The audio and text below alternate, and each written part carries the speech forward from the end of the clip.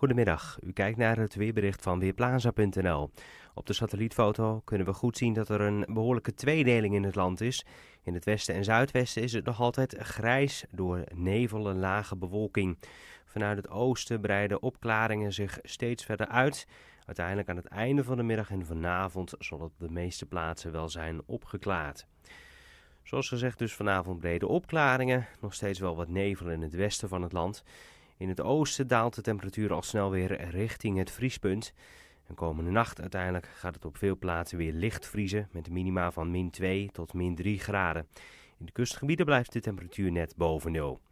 In het binnenland kunnen bovendien weer een paar mistbanken ontstaan, maar op uitgebreide schaal mist, dat verwachten we niet.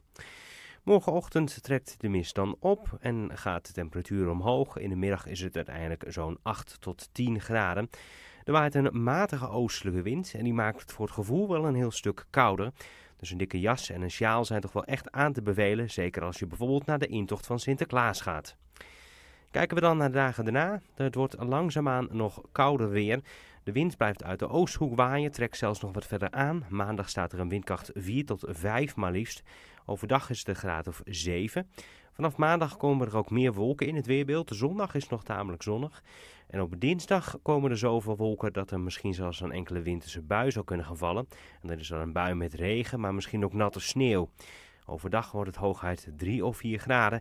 En nog altijd met die stevige oostelijke wind voelt het echt guur aan. Ja, en dan blijft het eigenlijk voorlopig aan de koude kant van de tijd van het jaar. Als we kijken naar de 15-daagse, dan zien we dat de middagtemperatuur zo rond de 4 of 5 graden ligt voor de komende tijd. En kijken we dan naar de kansen op sneeuw, dan zien we dat die met name volgende week woensdag behoorlijk oplopen.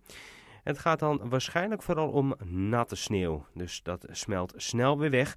Maar misschien op een enkele hoger gelegen plek in Nederland, dan met name de Veluwe en in Limburg, dat er een klein beetje droge sneeuw valt en dat het dus heel eventjes wit kan worden. Echt een beetje winter dus, eind de tweede helft van november. Ik ben Ben Langkamp van Weerplaza.nl